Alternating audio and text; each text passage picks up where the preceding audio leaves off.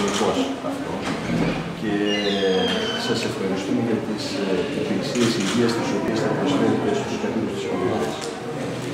Ειδικότερα τώρα, εγώ και όλο το προσωπικό, σας καλωσορίζουμε στο κέντρο υγείας και έχω να πω τούτο, ότι σήμερα εσείς, ο Όμιλος Υγείας, άνοιξε μία αγκαλιά ε, για τους ασθενείς της περιοχής, προσφέροντας αυτά τα υλικά τα οποία χρειάζονται να απαραίτητο καλύτερη υγεία για περισσότερες υπηρεσίες που προσφέρουν στους ασθενείς.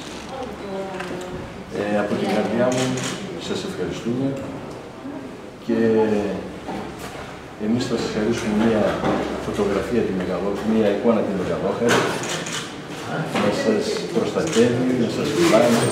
χαρίζει υγεία και πάλι σας καλωσορίζουμε και σας ευχαριστούμε πάρα πολύ. Ευχαριστούμε πάρα πολύ.